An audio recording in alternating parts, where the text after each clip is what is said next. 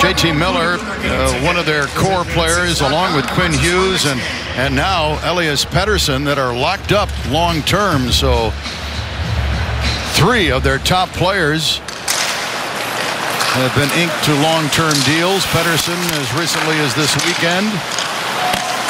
Miller last year. Hughes, of course.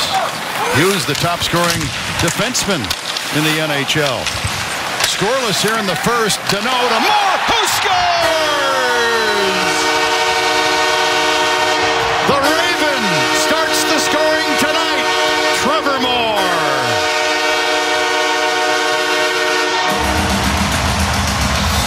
It's all about hunting down loose pucks.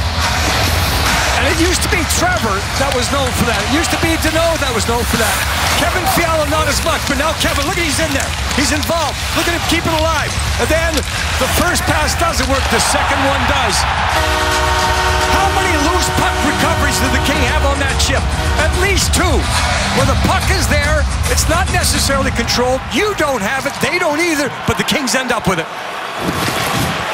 Team high 24th goal for the Thousand Oaks, California native.